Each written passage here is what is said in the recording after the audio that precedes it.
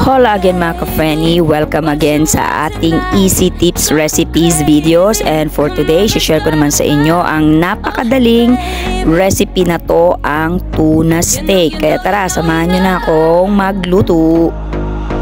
Oh baby, what you want tonight? Go crazy, come on let's start a fire. Oh baby, you know, you know, you know, you know.